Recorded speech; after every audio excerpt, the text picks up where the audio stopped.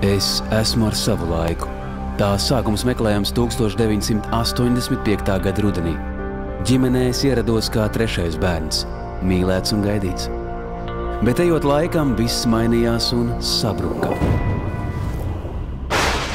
Kāds padevās, kāds pievīla, kāds neatbalstīja un kādam noteikti bija vienalga.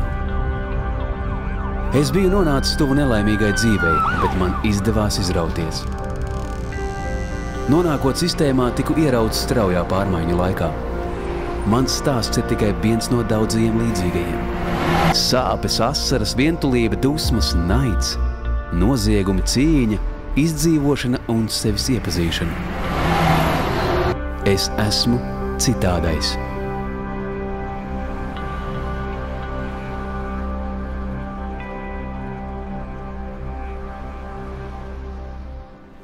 Esiet sveicināti podkāstu skatītāji. Citādais dodas tālāk. Un arī šajā reizē mums ir aizraujošs stāsts, un mana viesņa ir uh, īpaša personība. Es uzsveru vārdu īpaši tikai tāpēc, ka izvēloties šādu profesiju, kurā strādā mana viesņa, tas nav vienkārši. Vienkārši nav tāpēc, ka visas emocijas un visas cilvēku gammas un izjūtas tiek laists caur sevi primāri, lai saprastu, kā palīdzēt tālāk. Tāpēc šajā reizē mēs runāsim par to, kā palīdzēt cilvēkiem, kuri ir pazaudējušies, kuri vairs nespēja sevi atrast un kādas ir mūsdienu tendences vispār pāri visam slimot ar psiholoģiskām problēmām. Andrija Likova šajā reizē ir pie manas ciemos. Sveika! Sveiks! Andrija, psihoterapija. Kas tas ir par zvēru tādā tautas valodā? Kas tā ir par profesiju? Jā, tā ir viena no tādām viscilvēciskākajām, manuprāt. Profesijām, kurās satiekās gan sirds, gan prāts, gan ķermenis, gan rīcība. Jā. Un, uh, savā ziņā tā ir profesija, kura paredz uh,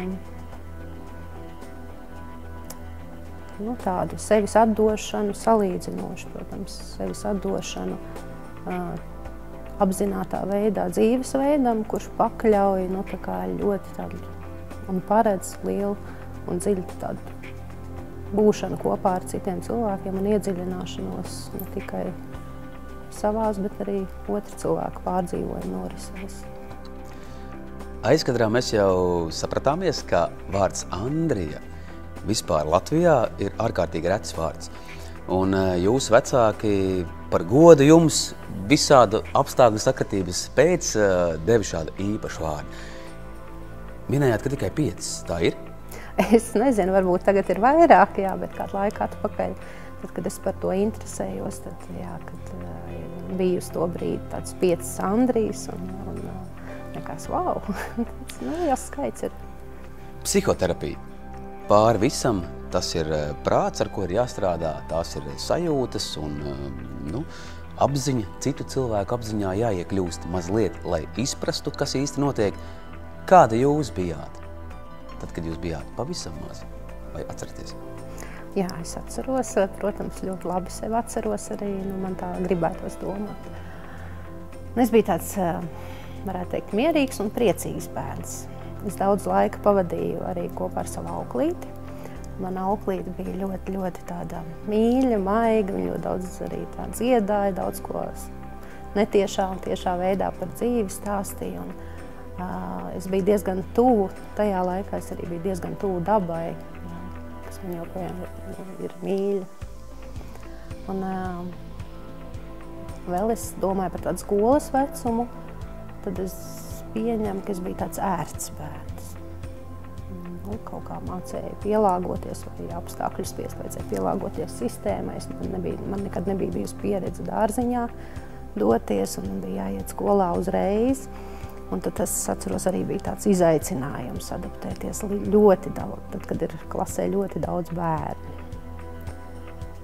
Bet vispār man ļoti paveicās. Es mācījos Lapneša cienu pamatskolā, Un, man joprojām, mēs ik pa laikam satiekamies ar saviem klases biedriem, tādos tā kā mini un, un lielajos salidojumos.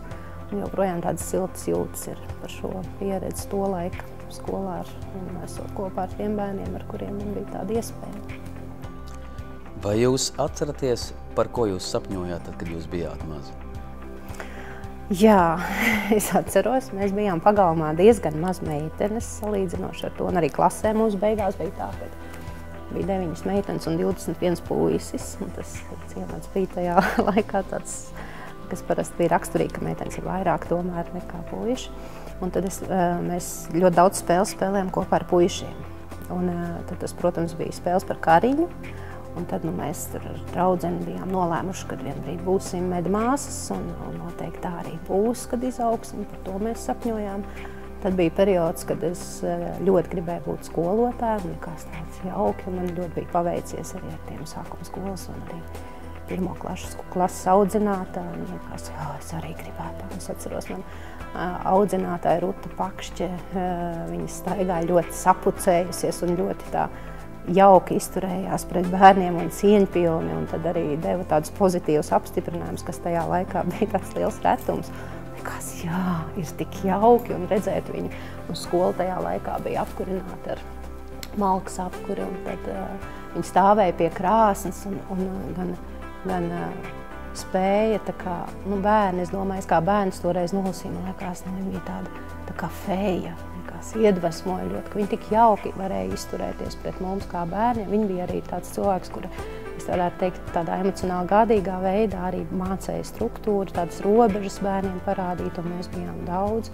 Un tad bija tāds arī liels sapnis būt, jā, es gribētu kā skolotāji. Un viņi bija skolotāji, kas aicināja arī savus uh, klases bērnus pie sevis uz mājām, un es atceros, man iedod Mērijas Popinsas grāmatu izlasīt uz mājām, un es lasu, un es neko nesaprotu, jo man tagad es saprotu, ka šī grāmata bija, acīm redzot, arī mazliet lielākiem bērniem domāta, bet es viņu lasu, jo man taču mīļā skolotāja ir iedavusi uz mājām, un, un tad, kad skolotāja, nu, tad, kad es viņai aiznesu atpakaļ šo grāmatu, es atceros viņu tādos maigi violetos vāciņos, bet tad skolotāja jautāja, nu kā bija? Ļoti labi, man patika. Un es atceros, ka šie vārdi vairāk droši vien bija izskanējuši, kad tieši dēļ šī siltā kontakta, tieši dēļ šīs pozitīvās pieredzes, un arī tad, tad mēs bijām daudz klasē, bet viņi spēja paust šo īpašu attieksmi, un bērniem patika būt ar viņu kopā. Ja. Ārkārtīgi gaišu gleznu šajā reizē jūs uzzīmējāt tādā, vismaz manā acu priekšā, un es ceru, ka arī podkāstu skatītāju acu priekšā par skolotāju, par skolas laiku. Nu, tāda tā laika Elza Frozen mūsdienu, vai ne? Forši apzināties, ka ir laba un mīļa uh, skolotāja vēl joprojām. Un, uh, vai par psihoterapeitu var kļūt katrs cilvēks? Jā, nu, droši vien, ka nē. Tas ir uh, saistīts ar tādu iekšējo vajadzību, ar iekšēju gatavību. Jautājums, kas ir tās vajadzības? Mani mudināja uh, pievērsties psiholoģijai un vēlāk arī ģimenes uh, psihoterapijai, arī, protams, mana pieredze. Un, uh, tad, kad man piedzima 20 gados, man piedzima vecākā meita, Un, un, un it kā viss bija, un bija ģimene, un tur vīrs, un, un, un viss ir jauki. Bet eh, tajā pat laikā es ļoti skaidri apzinājos, ka ar mīlestību vien nepietiks. Un manī uh, iepriekš jau bija tāda vēlme, un es arī daudz lasīju un interesējos, sākot no to laika, es atceros, kā bērns pusaudzis, sākot no horoskopiem, lai vispār eh, visu cilvēkus saprastu, ja, kas nu toreiz bija pieejams. Un tad, tad arī grāmatas, kuras daudz lasīju un man iedvesmoja. Un tad tajā pieaugušo pasaulē atrodoties, es sapratu, ka man nav ne tās zināšanas, ne arī vispār nu, tāda ap, skaidra apziņa, ko es daru un kāpēc es tā rīkojos. Man bija pilnīgi skaidrs, ka es negribu pa vecam. Es ne, nevēlos arī, nu, ka kaut kas pietrūkst. Un es e, jau vidusskolas laikā biju apzinājusies, ka tas, kas pietrūkst, ir pieredze ar e, emo, emocionāli tuvām attiecībām, jo tās es biju iepazinusi. Un, e, un, kā bērnu audzināt, man nebija ne jausmas. Un tajā periodā es pieņēmu lēmumu, tad, kad mana esmeraldiņa paaugsies, es varētu startēt un mācīties kaut ko par cilvēkiem. Un toreiz Latvijā pakāpeniski bija ienākusi jau psiholoģija, un tad es arī iestājos institūtā un, un sapratu, jā, ka tā ir mana vieta. Es jau pirmajā kursā skaidri apzinājos, ka nāk tik daudz atbildes un jā, ka tās ir tās saknes, tās ir tās atbildes, ko es meklēju. Un, protams, katram ir savs ceļš, bet man, man tas ļoti saistīts bija ar iekšējo motivāciju, ko es no Esmeraldē varbūt man neizdevās Esmeraldē varbūt iedot uzreiz visu to, ko es jau šobrīd zinu, vai arī tad, kad vēlāk dzima mans dēls, un vēlāk, kad mans trešais bērniņš Annija piedzima, tad viņiem tika daudz vairāk tās reālās iespējas piedzīvot māmu, kur ir ļoti apzināta un vērsta daudz uz tādām emocionālām nu, rūpēm un atsaucību, bet sākotnēji es arī biju tāds pareizi audzināts cilvēks, kurš, kurš faktiski ļoti orientēts, lai viss būtu pareizi. Nu, tāds bija arī tāds te, teicamnieks iekšējais, ja, un ka ļoti bija jāatbilst un bija iemācīts, ka arī kaut kādiem uzdevumiem ir labi jāmācās, un tad tu esi vērtīgs, ja, kas ir, protams, āģgāni šobrīd raugoties uz šo visu. Un, eh, un tāda fona trauksme arī kaut kādā mērā, ka kaut kas nav kārtībā, kaut kas ar mani nav kārtībā, ka man vajag kaut ko, ko es pati nezinu, bet es arī īsti nevaru atrast. Un, un tas bija tas ceļš, kur es atradu, un es esmu ļoti pateicīga arī brīnišķīgai profesorai um, Zidrai Meikšānai, kur es uzrunāju otrā kursā, kad es studēju bakalauros, un teicu, ka eh, par cik eh, mans dzīves fons bija saistīts to laiku ar jūrniekiem, ar jūrnieku pasauli. Man tēvs bija jūrnieks, un to laiku mans vīrs bija, bijušais vīrs bija jūrnieks. Un, uh, es uzrunāju profesoru un teicu, ka es gribētu kursa darbu veikt saistībā ar to jūrnieku ģimeņu dzīvi un ka man ļoti interesētu un varētu palīdzēt. Un, uh, viņi ļoti atsaucās, un tad uh, kaut kādā zināmā mērā viņi bija arī viens no tiem cilvēkiem, kurš uh, bija gan emocionāli gādīgs, gan strukturēts. Un viņi man iesaistīja tādā projektā, kur es uh, joprojām jūtos ļoti pateicīgi. Viņi teica, ko, zini, ko tu man nāks un palīdzēsi, un mēs varam kopā, un es tevi atbalstīšu. Un, uh, Un, uh, tad es nokļuvu Latvijas Jūras akadēmijā un uh, asistēju. Un arī tur gan savu kursa darbu īstenoju vienu otru, un tad arī daudz varēju uh, iepazīt arī plašāk gan sevi, gan arī savu dzīvi. Un vēlāk jau tā bija tāda laba iespēja, labs atspērienu punkts, lai kaut ko vispār izprastu par tādu cilvēku dzīvesveidu, kuri dzīvo gan attālināti, gan klātienē. Un labāk būt kopā ar savām sajūtām un pieņemt savu dzīvesveidu. Andrija Liko, psihoterapeite. Šajā reizē tik tiešām vienā teikumā var pateikt ārkārtīgi daudz. Andrija, es vēršos pie jums šajā reizē, kā es gribētu būt šobrīd pats bērns un vērsties pie jums, nu, kaut kas īsti nav skaidrībā. Un uh, ir tāda tēze vai pieņēmums, ka mēs katrs nākot pasaulē piedzimstam ar kaut kādu bagāžu vai ar kaut kādām sajūtām, lietām, kuras mēs vēlāk dzīvē nu, īstenosim. Vai mēs piedzimstam ar problēmām? Jā, nu, jāteic tā, ka ir ļoti liela nozīme tam, kā bērni nāk pasaulē. Ir liela nozīme tai pieaugušo gatavībai sagaidīt bērniņu pasaulē. Ļoti liela nozīme un, tam, kā bērns tiek gaidīts, kāds, kā norit grūtniecības periods. Vai pieaugušie ir apzināti, ka ar 17. grūtniecības nedēļu bērniņš arī paņem visu, visu informāciju gan no savas mammas, gan no ārpasaules. Un kā viņš piedzimst, cik viņš ir sagaidīts, cik viņš ir gaidīts, cik viņam ir uh, bijusi tāda emocionāli gādīga ienākšana un gaidoša. Vai ne? Jo visi jau mēs gribam lielā mērā justies pieņemt un gaidīt, un tas mūsu smadzenēs tā ir ierīkots dabā. Un, un tās problēmas jau bieži vien, protams, ir arī sav, sava loma ir arī ģenētikai, bet pavisam neliela. Un tomēr lielākā loma ir tiem pieaugušajiem, kuri šo bērniņu sagaida. Un tad ir jautājums par, mēs domājam par problēmām vai risinājumiem. Tad cik gatavi ir šie pieaugušie, cik viņi ir psiholoģiski nobrieduši rūpēties, vai viņi vispār spēj emocionāli un fiziski gādāt par savu mazulīti, vai viņi varēs atsaukties bērna vajadzībām pilnīgi visām, un ja bērns signalizēs, vai viņi spēs izturēt arī šos daudzos, daudzos signālus un apzināties, ka katra atsauce, atsaukšanās uz bērnu vajadzībām stiprina bērnā uh, drošu attiecību modeli, ko mēs mūsdienās daudz runājam, vai ne par drošu piesaisti. Bet uh, tomēr pārsvarā un lielākoties gadījumu atbildība ir pieaugušiem cilvēkiem. Un, uh, problēmas, ja mēs tā varētu noformulēt, ja rada uh, gan paši pieaugušie, tie, kuri uh, ir bērniņi sagaidījuši, gan arī vide un apkārtējie pieaugušie vai apkārtējā sistēma, uh, kurā vai nu atbalsta, vai nu neatbalsta. Un tā ir arī tāda sistēmiska pieeja, tā kā viennozīmīgi Nav tādas atbildes, ka bērns piedzimst tagad ar problēmām un, un visiem jārisina. Jā.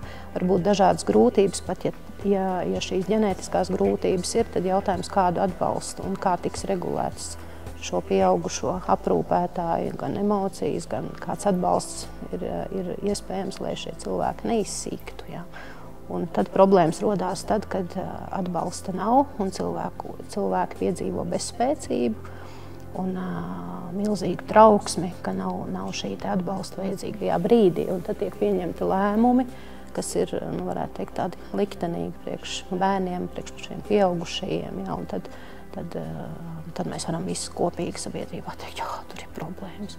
Bet tas preventīvais darbs joprojām Latvijā nenotiek. Un, un es teiktu, tā, ka bērna aizsardzība vispār ir zem katra līmeņa rūpes par bērnu Latvijā nav prioritāte, lai gan tas tiek skaisti ietērpts.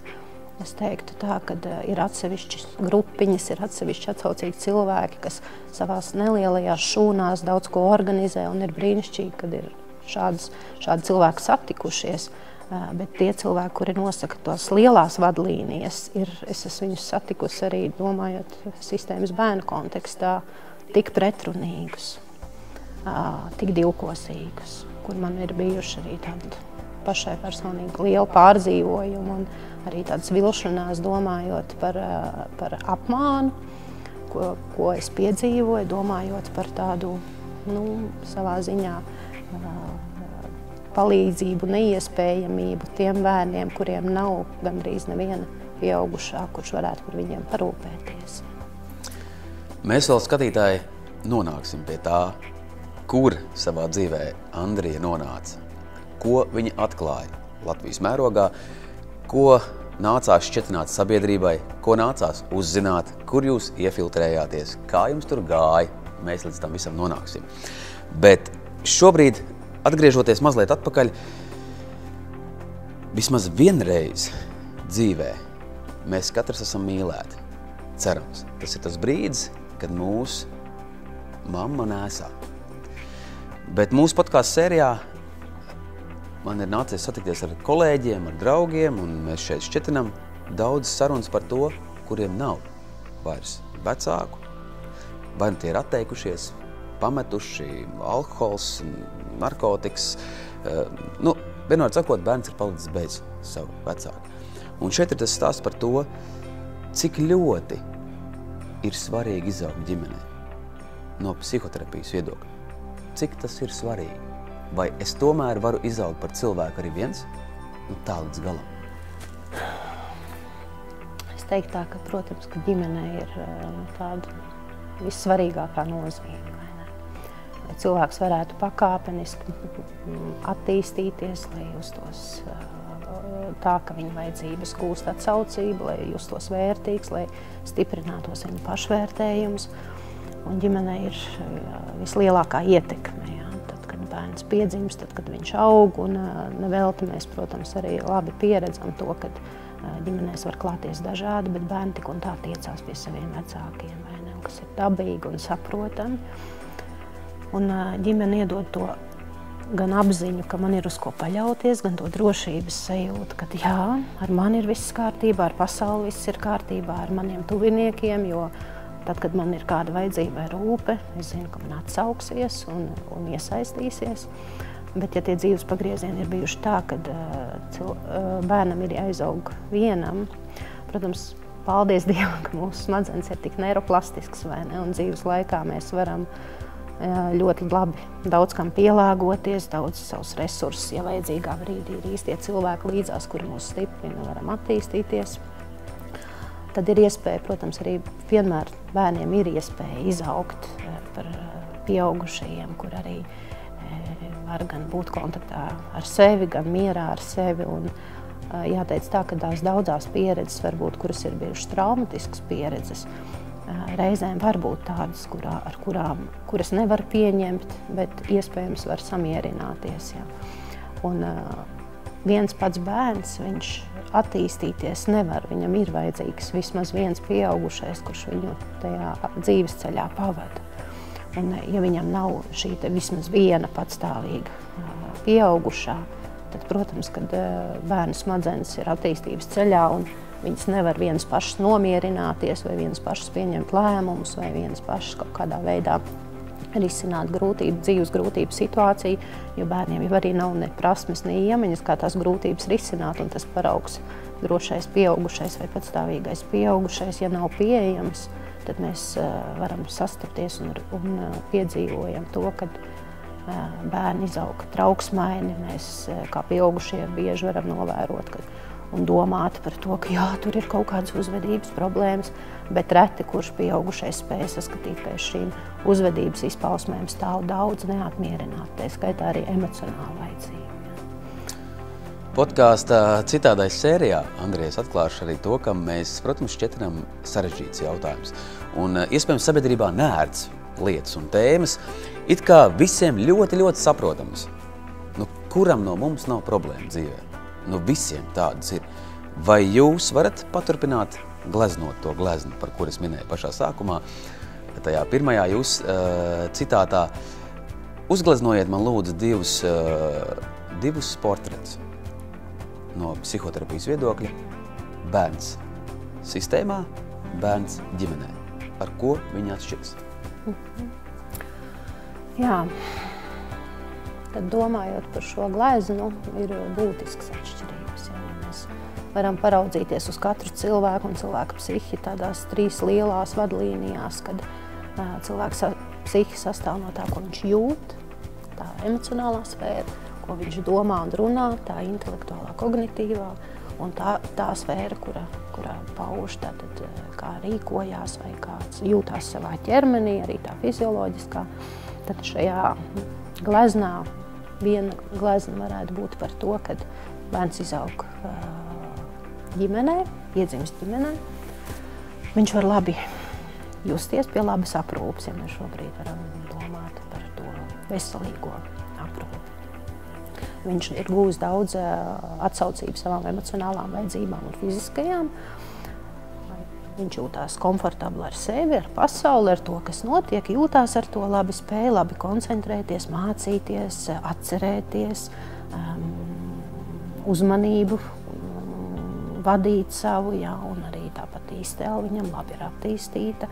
Viņš ir kontaktā, jūtas kontaktā ar savām domām un rīcību, un uh, arī spēja uh, rīkoties, jo viņam ir pazīstama vide, ir iemācījusi un apmācījusi gan tās iemaņas, gan prasmes, kā eh, risināt kādus jautājumus, kā, pie kā griezties, ja gadījumā kaut kas nerisinās un saņemt šo atbalstu. Un, uh, daudz, uh, tad, uh, ja šādā vidē bērns aug, tad tā glezna izskatās tāda jauka, saulaina, pārsvarā. Nu, bērns ir apmierināts, jo uh, pats pat neapzinoties, viņš var reiķināties un justies droši. Un uh, bērni, kuri aug sistēmā, un joprojām ir sistēmā, tad uh, viņi pieredz to, ka viņu emocionālās vajadzības negūst atsaucību. Uh, bieži vien uh, tā grūtība ir tā, ka bērni ne jau pieaugušos vaino, bet viņi sāk vainot sevi, ka ar viņiem kaut kas nav kārtībā. Un ja viņiem katru dienu tiek kaut kas pilināts pa pilītei, ka ar viņiem kaut kas nav kārtībā, viņi ne tā uzvedās, viņi ne tā jūtās, ne tā domā. Un, ja šis patstāvīgais aprūpētājs nav nemaz pieejams, tad viņi gūst par sevi no pasaules atgriezenisko saikni, kas ir sadrumstalota un nevar veidot arī tādu iekšējo uh, sajūta par sevi un par savu veselumu. Jā, bet veselumu tādā ziņā kā kodolu. Un tad ir tik daudz satraukuma, tik daudz neapmierinātas emocionālas vajadzības, nav šī mierinājuma pieejamība, ja, jo pieaugušajiem ir faktiski vecākiem ir divas funkcijas. Kā es uh, arī semināros par to vienmēr apstiprinu un domāju, ka uh, spēt bērnus mierināt un spēt ar bērniem kopā priecāties. Tās ir faktiski divas vadlīnijas. Un tad tā aina, otrā aina ir tāda, ka tas bērns arī nespēja koncentrēties, viņam grūtāk varētu iet skolā vai risināt kaut kādas problēmas, ātri var aizsvilties, jo viņa emocijas nav regulētas vai nav viņš pieredzējis, kad regulēts tas nozīmē, viņš nav saņēmis arī mierinājumu viņam vajadzīgos brīžos.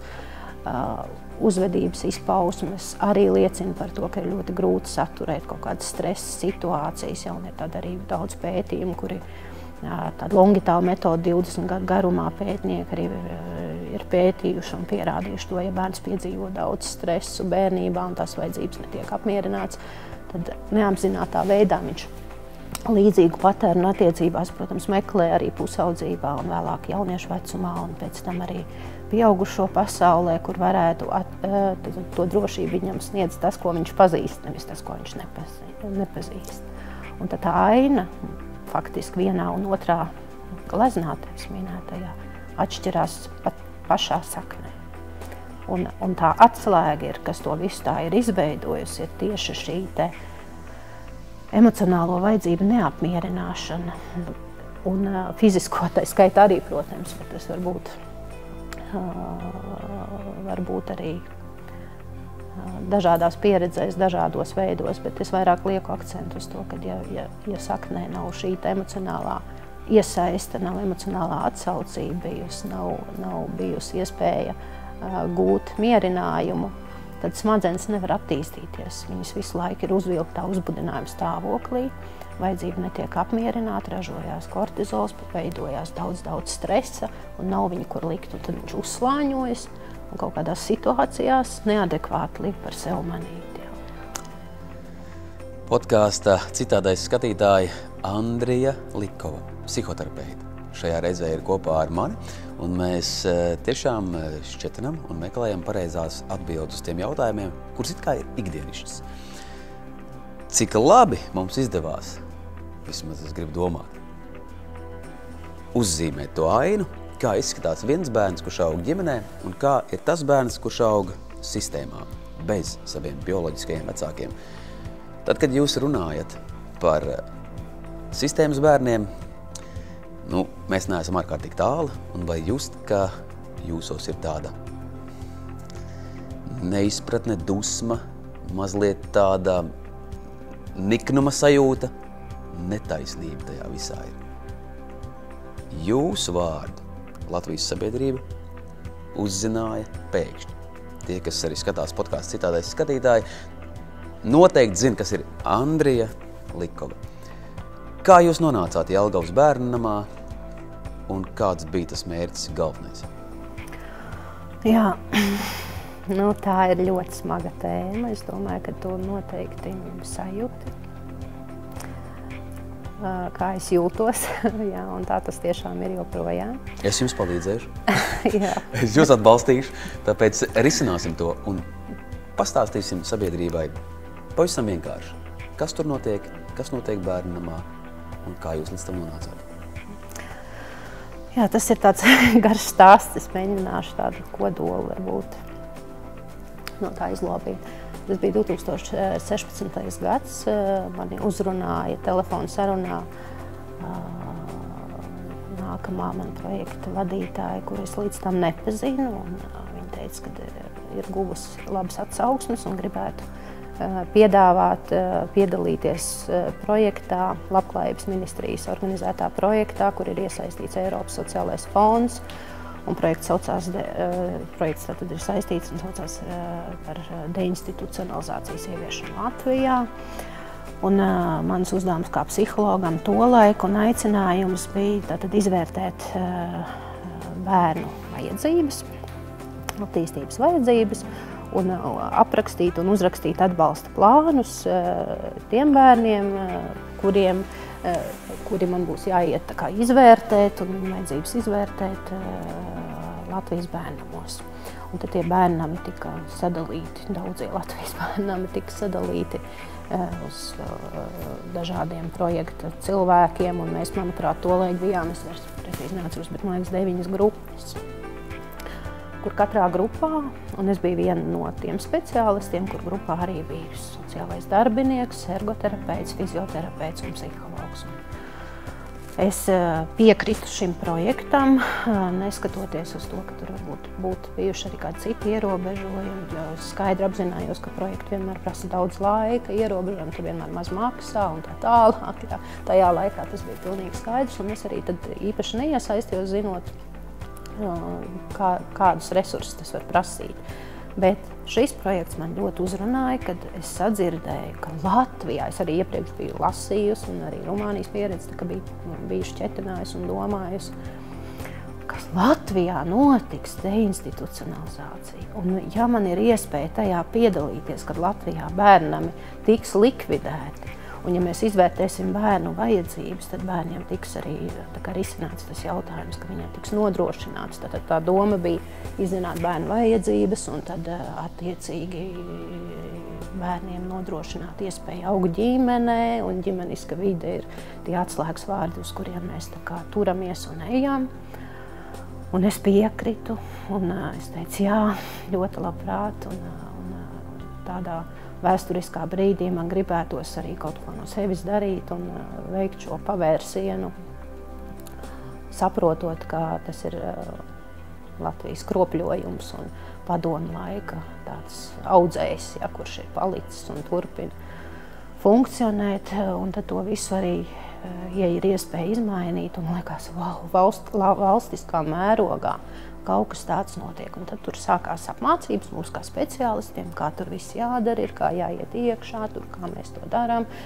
Kā pētām dokumentus, kā tiekamies ar bērniem, kas tur būtu tie galvenie akcenti, bet visu laiku tika arī akcentēts tas, ka ģimeniska vide bērniem būs nodrošināta un uz to arī jāraugās.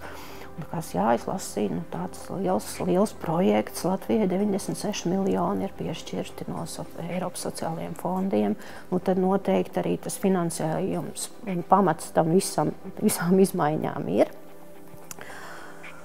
Un, jā, to laiku kopumā es izvērtēju, jāteic, tā projekta ietveros līdz 70 bērniem aptuveni.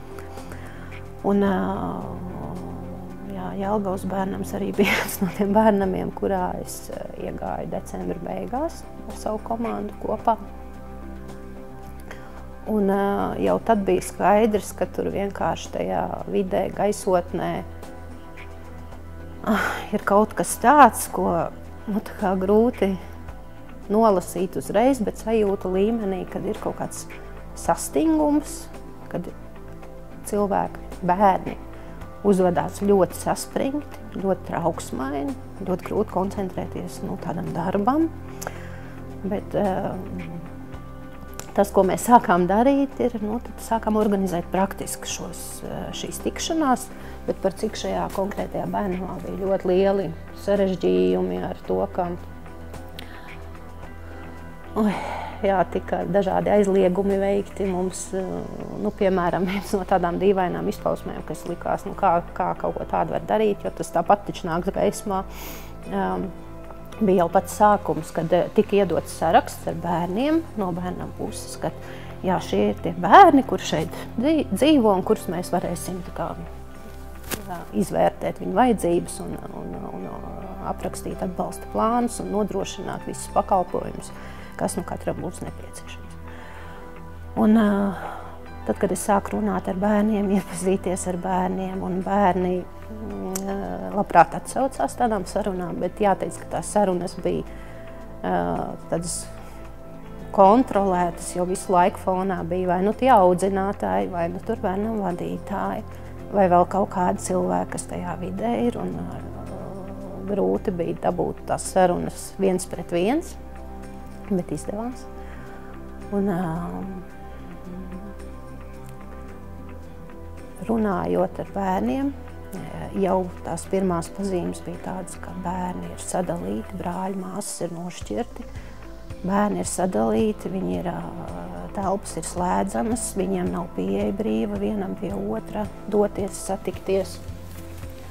Un, runājot ar bērniem, es sāku konstatēt to, ka tas bērnu skaits, kas man ir iedots un vārdi, kas ir sarakstā, vispār neatbilst tam, kas ir realitātē.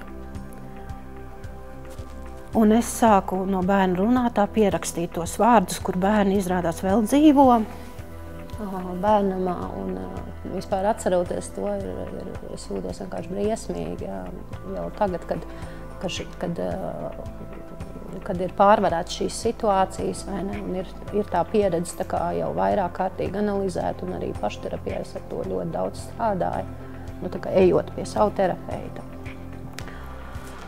Un, uh, konstatējot to, ka bērni ir izsūtīti uz dažādām iestādēm, internātiem, lai gan viņi ir piefiksēti esošajā bērnamā. Viņi ir internātos, viņi ir psihoneiroloģiskajās klīnikās, viņi ir visur, kur tikai ne, ne tur, kur viņiem vajadzētu būt. Vispār viņiem vajadzētu būt ģimenē, bet šeit viņi nav satiekami. Un vēl bija pilnīgi skaidrs, ka brāļi ar māsām, kas dzīvo šajā ēkā, pat nav satikušies.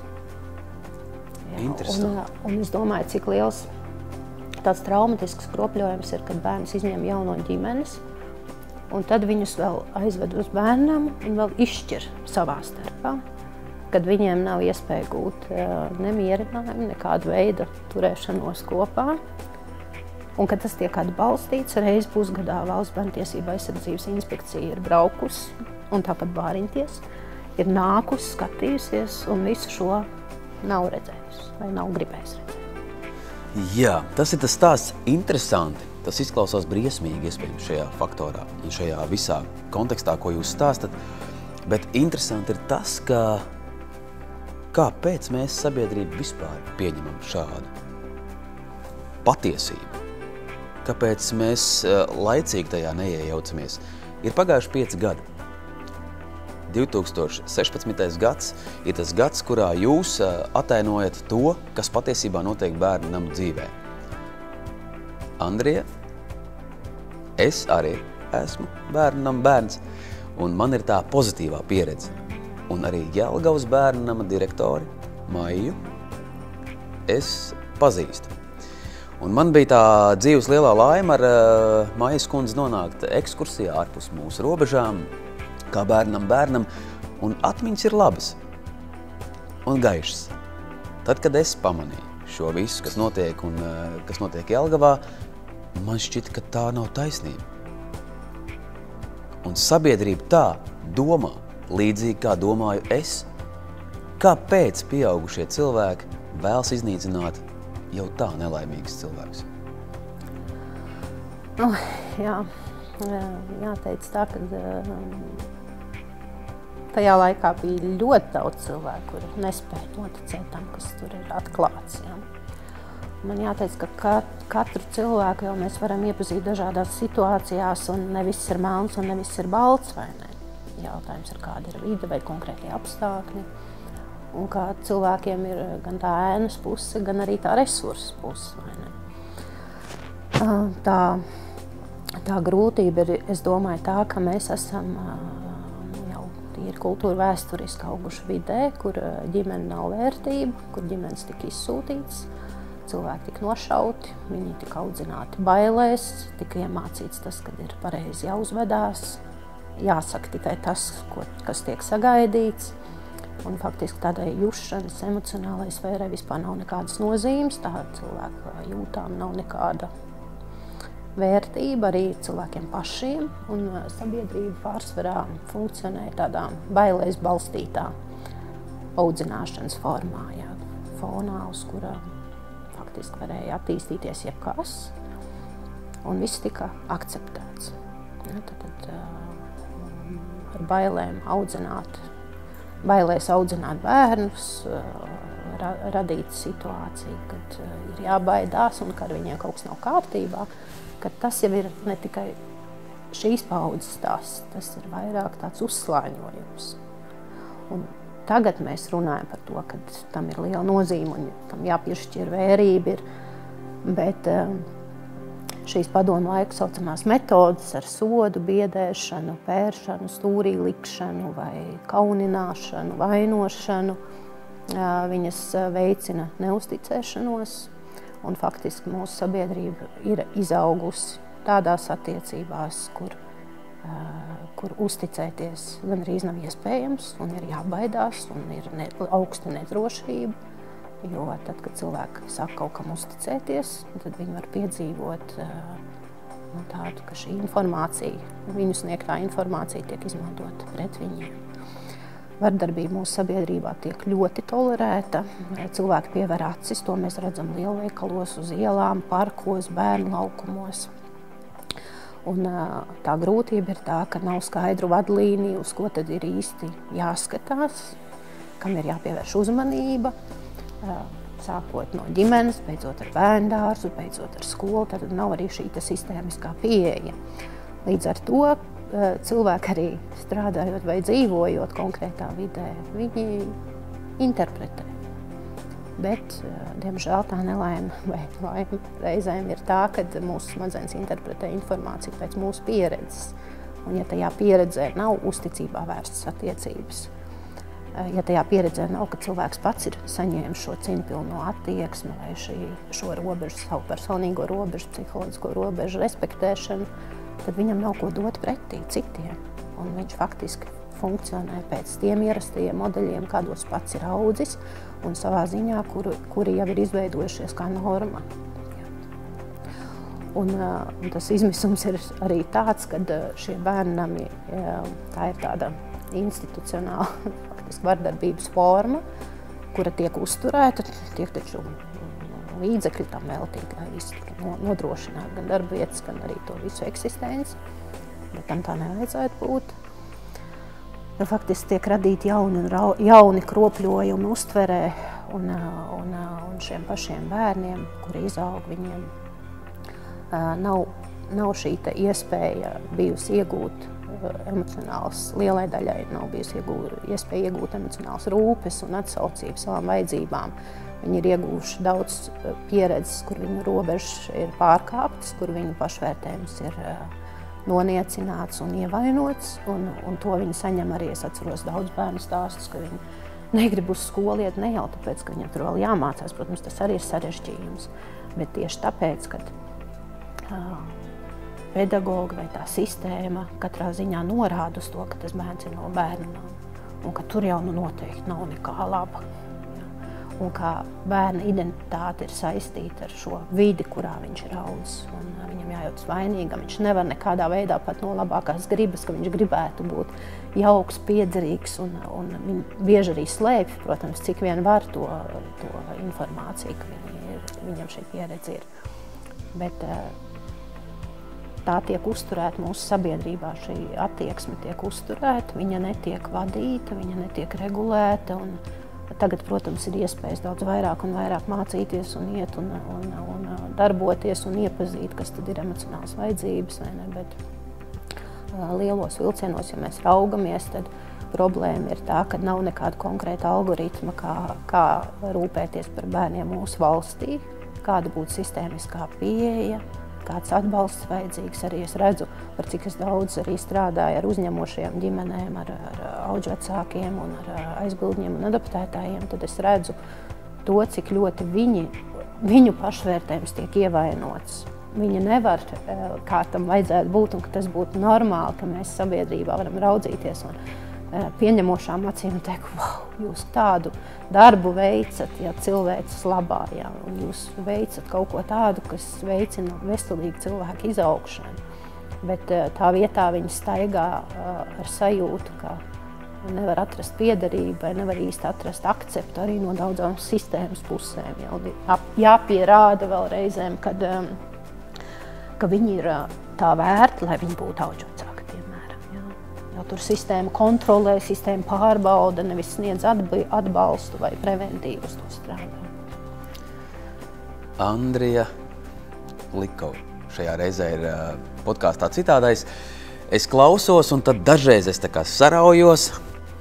Jūs jau to gan jau ka pamanāt, ka ar mani nav viss kārtībā, bet es to daru tikai tāpēc, ka kaut kur es jūtos arī atbildīgs pie tā, kā ir sistēmā. Jo iespējams arī es kaut kur esmu noklusējis to, kā varēja būt, vai, vai kas nav izdarīts, vai kā būtu bijis labāk. Bet visi tie stāsti par tiem traumētiem bērniem, kuri nonākuši bērnamā. Tad pirmkārt, viņi jau ir bez saviem vecākiem, viņi ir nonākuši sistēmā, tur viņus vēlreiz sit, tur viņus vēlreiz nesaprot, izejot ārpus it kā savas māju vietas un dzīves. Iela tevi atkal sit, skola tevi neizprot, beigās tu esi viens. Cik procentuāli pēc pieredzes jūsējās ir tas, ka šie bērni atriepsies. Viņi būs ļauni. Jā. Diez vai šeit es varētu teikt precīzi par procentiem, bet es noteikti varētu teikt, tad, kad cilvēkam tiek darīts pāri, tad viņš cita veida tādu attieksmi neiepazīst. Un tieši to, ko viņiem iemāca, ko bērnam iemāca ar savu attieksmi pieaugušais, visticamāk, ka viņš šo iemācīto tiešā un netiešā veidā paudīs arī attiecībās ar citiem cilvēkiem. Jā. Nevelti mēs arī zinām par šiem, un daudz runājam par šiem attiecību modeļiem, par piesaistas formām vai ne, un par to, cik ļoti svarīgi ir šīs drošās attiecības ja bērns ir audzināts bailēs, vai viņš ir audzināts viņu sitot, vai es jums varu minēt piemēru, lai būtu tāda varbūt ilustrētāka tā bilde, un mēs nerunātu tikai par teoriju. Tad, tad bērnu namā, kurā es, šai pašā Jelgavas bērnu namā, kurā es strādāju kādu brīdi, un veicu šo bērnu vajadzību izvērtēšanu, es pieredzēju ļoti dažādas ainas pati savām acīm. Tie nebija tikai stāsti, ko man bērni vēlāk uzticēja, bet tie bija reāli, reāli manas pieredzes stāsti. Un, tā aina bija tāda, nu, iedomājieties tagad tādu ainu lielai daļai no cilvēkiem ir tā, bērni tādā vecumā, kur ir 2 līdz 4 gadi, 2 līdz 4 līdz 5 gadu bērni. Un, uh, tur ir tādi divi pieaugušie, divas sievietes, jā, kuras pieskata un it kā uh, uzdevums ir rūpēties par viņām.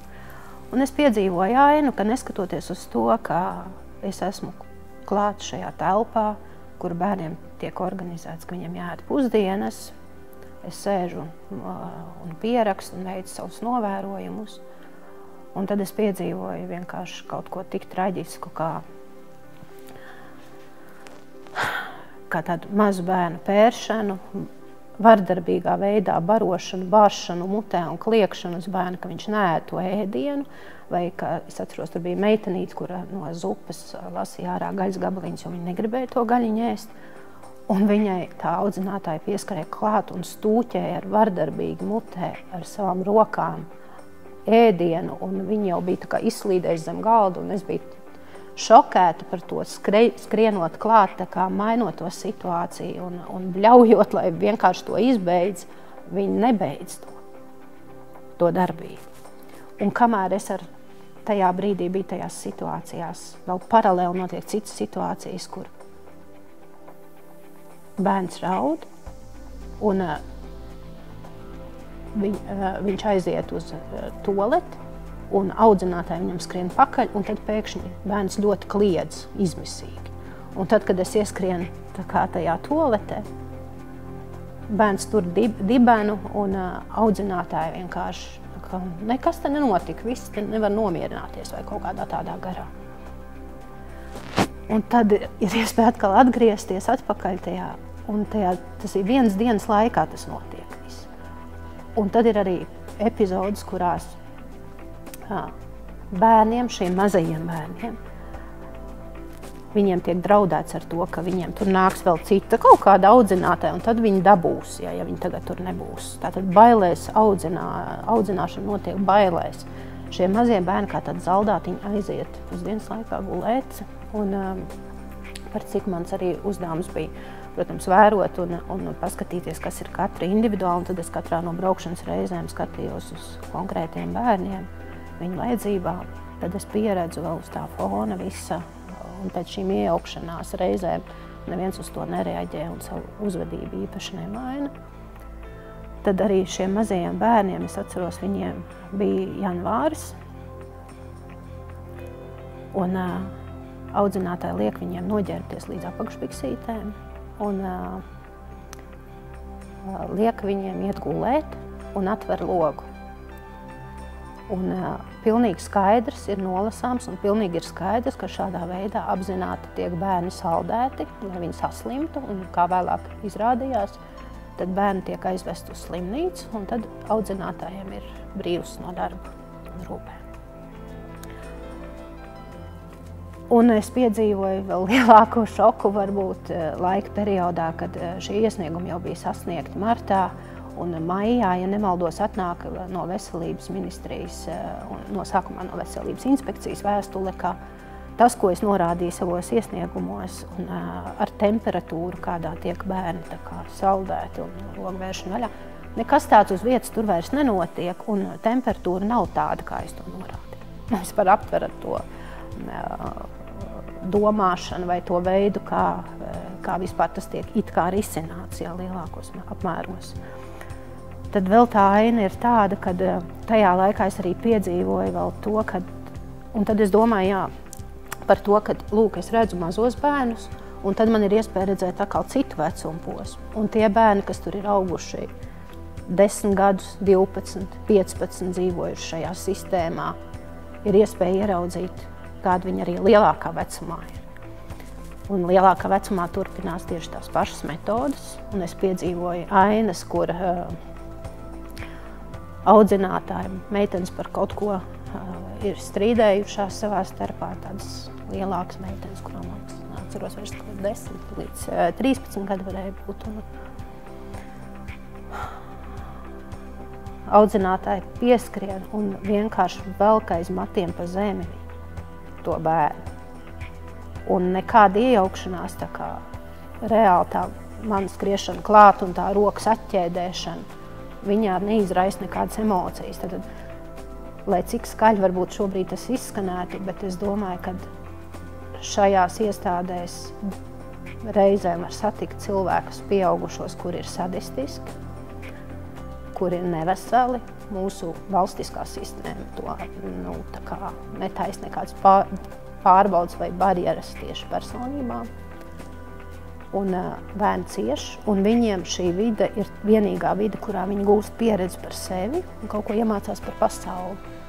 Un, un tad mēs ieraugam bērnus vai jauniešus, kuri dara pār citiem, un uh, cilvēki izdara secinājumus, ka jā, tas bērns ir problemātisks, jo viņš ir audzis bērnamā, vai viņš ir audzis tur un tur, vai viņam, oh, viņam tur tāda un tāda vecāka, un skaidrs tur gēni vai vēl kaut kas. Šāda attieksme es ļoti bieži esmu satikusi savā dzīvē. Bet tas, ka katra personīga atbild, atbildība ir tā, ka viņš ir tajā bērna dzīvē piedalījies vai stāvējis līdzās. Es reti sastapusi cilvēkus, kuri ir teikuši, ka nu jā, es darīju to un to, es pamanīju un es gāju to risināt. Viņi tajā savā dzīves laikā satiek bērnu audzinātājus, viņi satiek skolā skolotājus, viņi satiek pulciņos pieaugušos. Un es neticu, ka es biju pirmā, kas kaut ko tādu ieraudzīja. Tā sistēma bija, kā vēlāk jau, protams, viss atklājās, viņi bija ļoti sasaistīti arī ar citām institūcijām, un viens otru pieaugušie uzturēja un uzturēja savā starpā tādu veidu attiecības, kas uztur šādu agresiju un vardarbīgu bērnu audzināšanu. Un lielie puišie pārāk daudz gribēja tātad, iebilst vai rādīt jau savas traumas sekas, ko viņi arī pateicoties šī, šai bērnam pieredzē, ko viņi arī atklāja, ir ieguvuši. Man bija puiši, kuri, kuriem tolaik bija 16, 17 gadi, Un tad viens puisis, atceros, tad, kad mēs runājam par vajadzībām, viņš man atklāja, ka nu, viņš man pateiks, tāpēc, ka viņam, paldies Dievam, drīz pēc pāris mēnešiem tur būs jau jāiet ārā, un, un tad viņam jau vienalga, kas tur notiek. Viņš pastāstīja par to, ka lielākai daļai ir miega traucējumi tieši puišu, lielo puišu grupā. Tieši tā iemesla dēļ, ka naktas laikā, četros vai piecos naktī, viņi, kas arī pierādījās, protams, tur jau bija tiesas process un tā tālāk, ka viņi tiek izvesti, viņi tiek izrauti ārā no gultas un vesti ar varu, ar policiju, ar to pašu uh, bērnam vadītājs klātbūtni, vesti uz psihoneiroloģiskām klīnikām, un tas ir sots par viņu uzvedību vai to, ka viņi ir kādam kaut ko teikuši, vai ne tā pauduši, vai pretojušies, vai rādījuši, ka viņu robežas ir pārkāptas. Un uh, viņi tiek vesti prom, un, un uh, viņi tiek ieslēgti tādās iestādēs, vai tiek aizsūtīti uz tālākajiem internātiem, kur viņiem vispār nav nekāda veida piekļuve sabiedrībai vai kaut kā komunicēt ar sabiedrību. Un viņi ir teikuši, un tas, kas ir tas trakākais, ka viņi ir savā dzīves laikā dalījušies ar pieaugušajiem par tām savām pieredzēm, bet šīs vajadzības netika tālāk risinātas. Kādai būtu jābūt ideālai videi bērnu namu sistēmā? Vai kam tur nevajadzētu būt. Kāpēc tādiem jūsu minētiem cilvēkiem vispār ir ļauta iespēja nonākt šādā vidē, kur bērnam ir jāpalīdz, nevis viņš ir jāizvaro? Bērniem jau vispār nevajadzētu būt. Ja. Un tas, kas šobrīd notiek, ir tā, ka tā, šie līdzekļi, kur arī bija deinstitucionalizācijas projektā, tad, tad eh, īsteno, viņi tiek īstenoti šobrīd eh, sekojoši, ka tiek būvēti daudz mazi bērnu namiņi, kuri sauksies nu, ģimeniskai videi piemēroti visi vis apstākļi. Ja. Bet, uh, Tā grūtība ir vēl tā, ka daudz bērnam ir tiek pārdēvēti par krīžu centriem, un tad mēs varam izlikties, ka nu, bērnamos tagad nav pārāk daudz bērnu. Bet tā ir izlikšanās, jo tā nav taisnība. Ja. Tad droši vien tas ir žurnālisti jautājums izpētīt, kas ir un cik ir vai ne, un, un kurā vietā, bet es varu pateikt viennozīmīgi, ka tā sistēma, ka tas ir kā tāds audzējs, viņš attīstās, viņš turp, tiek turpināts uzturēt. Un domājot par to, ka jā, tolaik nebija iespējams dažādu iemeslu dēļ par to skaļi runāt vai tik atvērti par to runāt, jo tas bija trieciens visiem, arī terapeitiem, arī psihologiem, arī manai komandai, jo tika izdarīts milzīgs spiediens, tika draudēts, tika dažādos veidos manipulēts ar, ar to, ka Nu, sākot no tā, ka uh, iespēja pazaudēt darbu, diplomu un tā tālāk, un pietiek runāt. Un es zinu savus kolēģus, kuriem ir pateikts, ja viņi kaut kādā veidā uh, sniegs atbildes žurnālistiem, tad viņiem būs jāatvadās no savām darba vietām, un tā ir realitāte.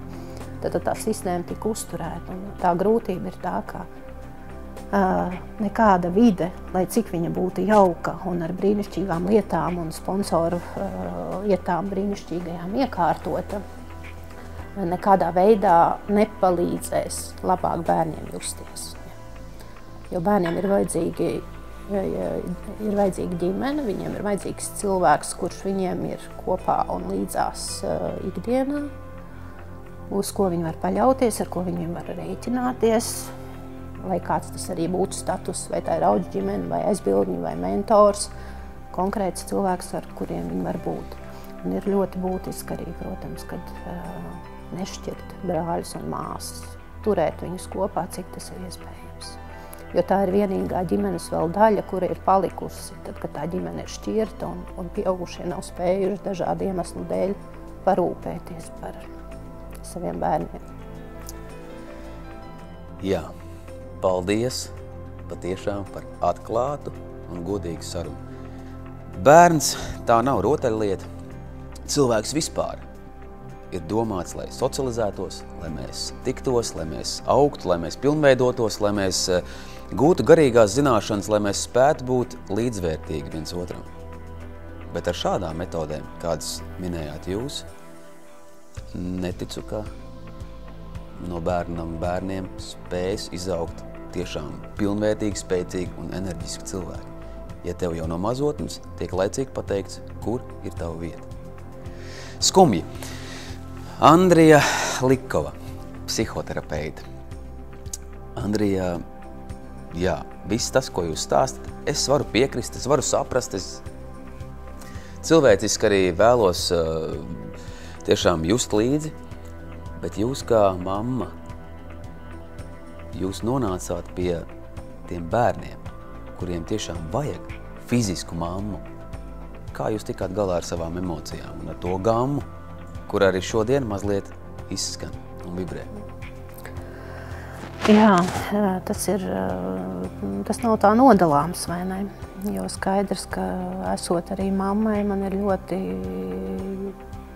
iekšējais tas puls un ļoti tā izjūta par sevi liek manīt. Un, atrodoties dažādās darba pieredzēs, man ļoti palīdz tas, ka es varu doties savā terapijā, kad es varu turpināt komunicēt ar saviem brīnišķīgajiem kolēģiem, no kuriem arī tajā laikā un arī šobrīd es saņēmu milzīgu atbalstu. Un tās ir arī supervīzijas, tās ir individuālās supervīzijas, kur tiek gadījumi šķetināti un, veicināt arī profesionālā izaugsme, gan arī iespēja runāt, runāt par pieredzēto. Un lielākā, lielākais, varbūt, lielākā iespēja dziedināšanai ir tā, kad spēt darīt, varbūt no savas puses, veikt tās iespējamās rīcības vai, vai piedalīties tajās aktivitātēs, ja tā varētu to nosaukt, kur ir palīdzoša un iespējama nu, citu cilvēku vai bērnu dziedināšana, sastrādājoties un strādājot kopā ar tādiem cilvēkiem, kuri arī ir līdzīgās vērtībās un arī vajadzībās kā es, lai mēs kā sabiedrība varētu atveseļoties. Un, es esmu ļoti pateicīga, ka man ir iespēja strādāt atbalsta centrā, ģimeņa atbalsta centrā Tilts, kur es esmu satikusi līdzdomātājs, un mēs varam visi kopā iet šo ceļu. Un, tas palīdz šim dzīvesveidam, jā, gan esot kā vecākam, gan esot kā ģimenes psihoterapijas speciālistē, tad gūt šo līdzsvaru. Jā. Brīnišķīgi. Bet tagad par to, kā ir šodien. Vai jūs jūtat to, varbūt arī esat izjutusi reālajā nu, ikdienā, jūs esat ienaidnieks vai instruments, kas ir palīdzējis šai lietai virzīties uz priekšu? Kā uz jums raugās lielie zēni? Nezinu. Es domāju, ka es esmu ļoti nērts cilvēks, manuprāt. Jo no vienas puses es jūtu, protams, iesaistu un es esmu ļoti pateicīga šīm izmaiņām, jo ļoti daudz kas ir arī izmainījies, protams. Jā. Un šobrīd ir, protams, kad ar bērniem, kuri man ir pazīstami un ar kuriem ir izveidojusies saikne, arī toreiz pēc tam jau tam Jāgaus bērnam periodam bija arī cita, cita ēra sākās, vai ne, kad bija iespēja šiem bērniem arī tur man būt līdzās un iespēja šiem bērniem meklēt ģimenes, un to mēs arī ar jaunu komandu jau arī izdarījām. Bet šobrīd var redzēt sekojoši, ka No vienas puses ir ļoti daudz kas mainījies, un es arī vēlreiz un vēlreiz varu gan sev, gan arī apkārtējiem apstiprināt, ka es būtu rīkojusies līdzīgi. Protams, ka tagad man ir cita pieredze, un tie, tie, tā, tās izmaiņas varētu notikt savādāk un ātrāk. Bet eh, noteikti es būtu tā, tādu pašu ceļu gājusi visticamāk. Un, uh, Šobrīd tas, kas notiek, ir, mēs esam kā, nu, ar vienu skaļu gadījumu, kā, jā, esam pievērsuši uzmanību, un tad paiet gadi, un tad tā roka no tā pulsa tā tiek jauki noņemta. Un, Un valsts kaut kādā mērā izdara uh, citus akcentus. Nu, šobrīd mums ir aktuālā tēma Covid, vai ne? Un tad viss raugās tur vienā virzienā, un tad tur bija 5G tēma, tad tur ieraudzījās viss tajā virzienā un tā tālāk. Bet uh, bērnu tiesība aizsardzībā vai vispār tādā bērnu politikā Latvija joprojām ir zemā līmenī. Ja, mēs esam pagājuši kādus centimetrus uz priekšu, un, protams, ir aktivizējušās ļoti daudz organizācijas, un, un tās mazās šūniņas ir saradušās un gribās teikt, ka cerams viņas satiksies savā starpā un savienosies. Uh, bet uh, arī nesen risinot vienu jautājumu, nu, piemēram, domājot arī par vienu zēnu, kurš arī ir šajā bērnamā audzis, un viņš tika tālāk, viņa ceļš bija pie auģu vecākiem, un, un, un, un tad es saskāros ar to, ka arī šiem auģu vecākiem vai uzņemošajām ģimenēm nāks pieredzēt to, ka viņi nevar gūt atbalstu, un tad, kad viņi pārāk skaļi prasa atbalstu, tad viņi tiek sākti vairāk kontrolēti, un tad viņi tiek tādā veidā apklusināti. Ja, tas ir briesmīgi šo apzināties, jo nav arī iespēja gūt uh, uzņemošām ģimenēm pilnvērtīgu atbalstu tajos brīžos, kad tas ir vajadzīgs patiešām uzreiz.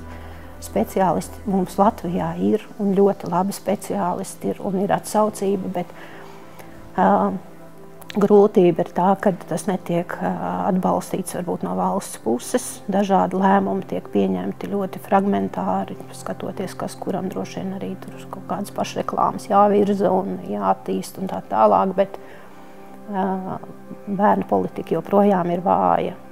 Un no vienas puses ir daudz kas pamainījies, un atbalsts ir gūts, un bērniem ir iespēja vairāk nokļūt ģimenēs.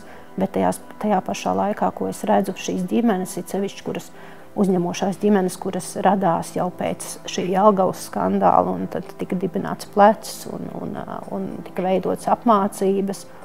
Tad šīs ģimenes, ar kurām es esmu gājusi ceļu uz atbalstu un vadījusi atbalsta grupas, es pieredzu, ka viņi izsīkst. Viņiem nav šī atbalsta.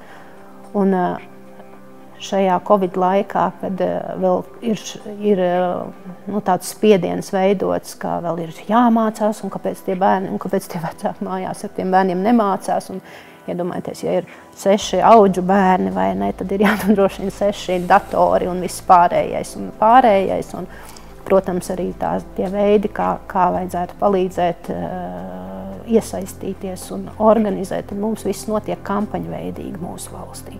Nu, ir kaut kas, nu, labi, tagad 500 eiro, nu, visiem sadalīs un viss notiksies, ja, un tad kaut kādu brīdi tiek tauta apklusināta uz kādu laiku, ja, vai, vai tas tiek nodrošināts pārāk saraustīti, nepārdomāti, un lēmumi tiek pieņemti satraucoši. Un tā grūtība ir tā, ka var redzēt, ka cilvēku lielākā daļa netiek galā ar to stresu un izmaiņām jo nav šīs drošības sajūtas, uz ko var paļauties, ar ko var rēķināties. Un liela daļa bērnu, diemžēl, arī no uzņemošajām ģimenēm ir ar augstu risku nokļūt atpakaļ šajos krīžu centros vai bērnamos. Bet, uh, kaut kā ir tas priekšstats radies, ja jau valsts nav tikusi galā ar bērniem, ja jau ģimene nav tikusi galā ar bērniem, tad nu, tagad uh, uzņemošām ģimenēm jābūt tiem supermeniem, kuri vieni paši varētu tikt galā un, un bez jebkāda atbalsta jā, iespējām. Un tā ir tā grūtība. Atbalsts ir vajadzīgs. Jā. Nav sistēmiski pieeja, diemžēl. Eh, ja mēs būtu vairāk tādi kā jūs, tas laikam būtu sapnis. Brīnišķīgi apzināties, ka mūsu valstī un mūsu sistēmā ir šādas personības kā jūs. Turpiniet darīt, turpiniet uh, meklēt, turpiniet uh, risināt, un tas, ko jūs darāt, ir ārkārtīgi daudz Latvijas sabiedrības labā. Atspoguļot nērts tēmas, tas nav patīkami, bet ja mēs to varam izdarīt kāda bērna labā, tas noteikti ir neatsverams faktors un neatsverama mīlestība pēc tam no tā visa. Viens dīvains jautājums. Jūs jau zināt, es jums atklāju, ka es pats esmu bērnam bērns ar labu pieredzi no psihoterapijas viedokļa. Es esmu normāls. Jā, tāds pro, provocējošs, protams, tas jautājums, vai ne? Un uh, es domāju, ka ir uh, tas, kam var pievērst vienmēr uzmanību, kad paldies Dievam, ka cilvēks ir radīts tāds, kuram ir iespēja attīstīt savus resursus, ne?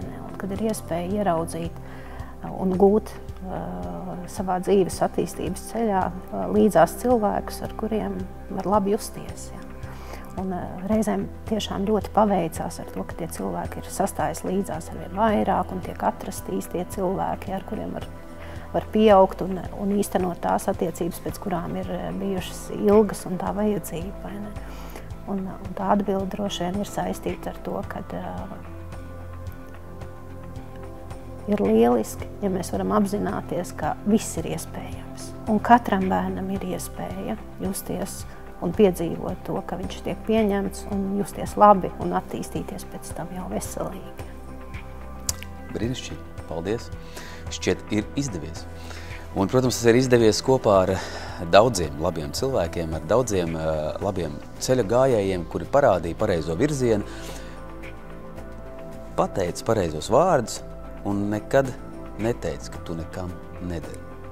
Sakiet arī saviem bērniem, jūs derēsiet, jūs būsiet labākie, un allaž atcerieties to, ka reizi dienā paslavējiet savu bērnu. Tas arī būs daudz. Pasakiet, tas noteikti ir labi, ko tu dari. Andrija, pēdējais jautājums, un tas skan pavisam vienkārši. Ja jums būtu burvju nūjiņa, viena lieta, ko jūs izmainītu uz visiem laikiem, kas tā būtu?